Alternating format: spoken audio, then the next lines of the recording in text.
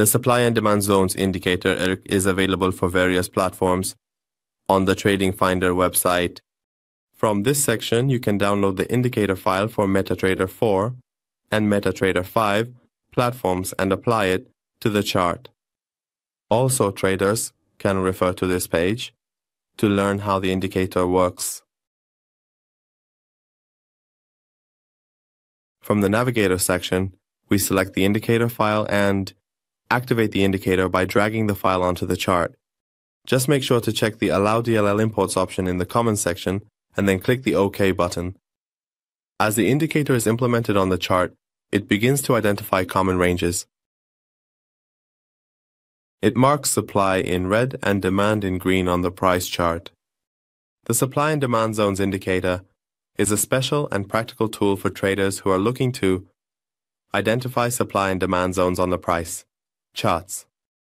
This indicator also displays ranges. The crowned and tested spreadsheet defines the ranges to make the fresh ranges more visible to traders.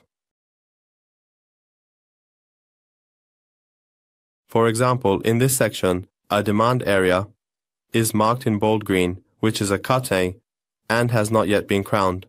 But in the lower section, there is a crowned demand area, which is marked in pale green, after identifying this zone, the price moved upward and, upon returning to the demand zone, we can see that it tested this zone and then moved upward again. In the settings section, in the input section, there are options for us.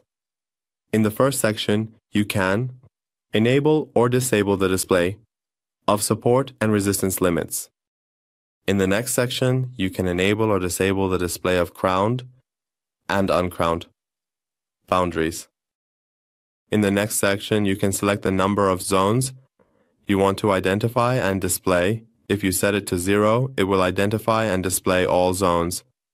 And if you enter a specific number, it will only identify oh, or woe the selected number of supply and demand zones. In the next section, you can enable the SUS, highlighting of overlapping zones, and if you set to not disable this option, the bar highlighting will not, or one, occur.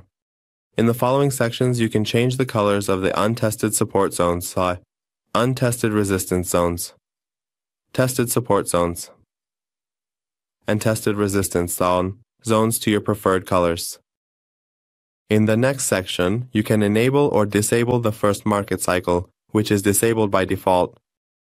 In the next section, you can enable or disable the second market cycle, which is enabled by default. At the end, you can also choose the colors for the first and second cycles. Here I only activate the resistance levels and I will currently disable the tested zones here. I specifically select two particular zones and also activate the second market cycle I set the color of the second cycle to blue and the first cycle to red, and then I carefully click on Apply. Now, only two zones have been successfully identified for us. Two zones have been identified. In this section, you can see the zones. Our first cycle, which is the smallest price movement, is marked in blue, and our second cycle, which is the largest price movement, is marked in red. Traders can use these cycles to identify the continuation of trends, whether the price is moving towards a bullish or bearish direction, and to have more specialized analyses based on the cycles and price zones. Well, friends, we've reached the end of this indicators tutorial. We would be happy if you share your comments mm, and suggestions with us in the comments section.